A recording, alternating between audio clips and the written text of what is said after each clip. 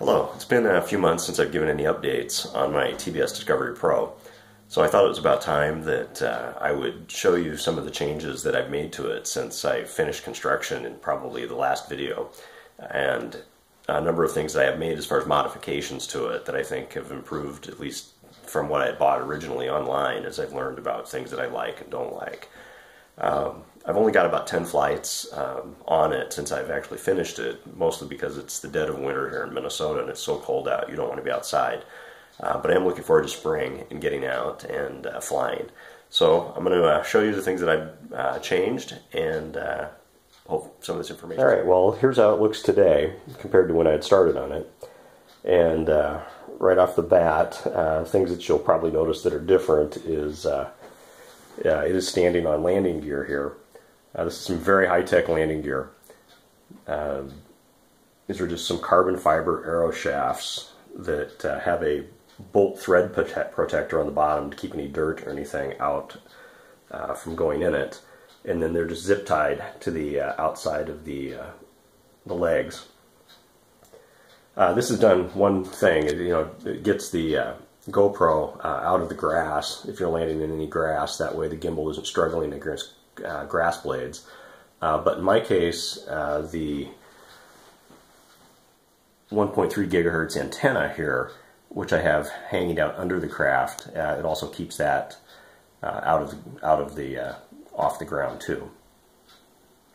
Um, the reason for the antenna being mounted like that the 1.3 gigahertz, it's I, I, can't exactly prove this, but it's claimed that uh, that's very close to the frequency of the uh, GPS up here on the top, and the uh, GPS receiver on the top can receive interference from that. I'm not sure that that four inches of space actually makes any difference, but it seemed better than have them uh, snuggled up against each other.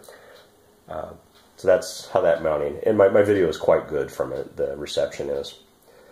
Uh, the originally the video on this, uh, on some of the shots on the internet, was from uh, this over here, which was from uh, TBS. It's the uh, Lawmate uh, 2.4 uh, gigahertz, and this long whip antenna. And then also here's the the Lawmate transmitter, which I had modified and installed a heatsink on. both of those worked just fine, and I had a Yagi antenna with that.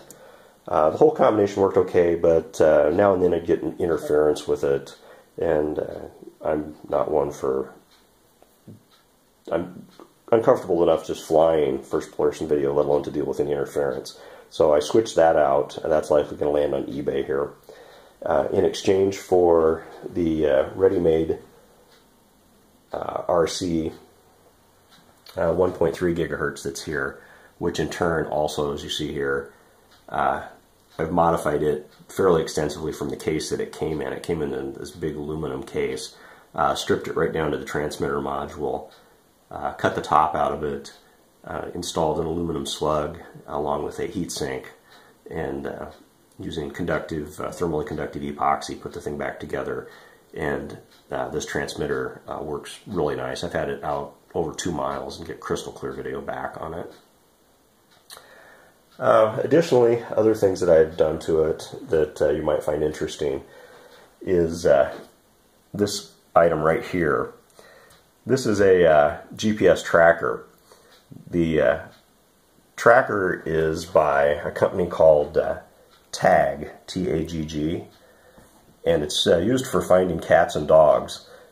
And it has a iPhone and Android app that accompany this that for only $7 a month uh, for one of these trackers, if you actually have two of them. I have one on my dog already. This is the second one, and the second one's only a dollar a month. Um, you can then get real-time tracking on it so that if I uh, if this goes down some distance out of sight, I can just look at my phone and see exactly uh, where the quadcopter is at to retrieve it. Uh, because I'm pretty sure that uh, in all the busy, busy work of me crashing it someday, I'm not going to be paying great attention to where I'm crashing it at. So uh, this will allow me to recover it. Uh, continuing on, there's a a number of these uh, voltage alarms here. Uh, I find those quite handy. It's it's one last check on the, the health and stuff on batteries to make sure that all the cells are balanced. I've stuck a number of those on my equipment. They just weigh a few grams. So I've got one here next to the uh, EzUHF diversity transmitter uh, on the back. Um, I've also added uh, lights to it, uh, just so that uh, you can get orientation of how, how the craft is flying.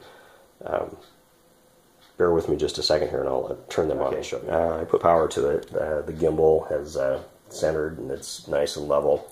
Um, let me turn the lights on here. So here in the front we have a row of green LEDs of course, then on the back, uh, red LEDs on both arms.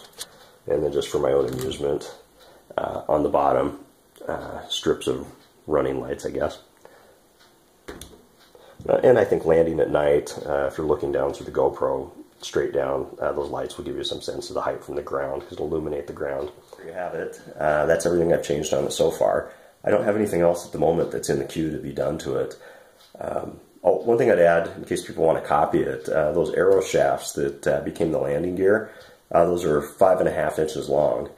Uh, those work really well. I actually tried the uh, DJI uh, flame wheel legs. They're actually made by DJI and put those underneath the craft.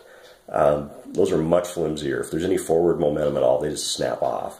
Um, these arrow shafts, you can take a pretty hard landing, and the worst thing that happens is the zip ties that are on them uh, break and uh, absorb a lot of the energy, and you'll find that uh, your quadcopter is pretty much unharmed. Um, but it is nice to get it up out of the grass. Well, that's it. I'm going to, spring's coming, uh, log a bunch more flight hours, and uh, hopefully some good updates, uh, or at least flight video.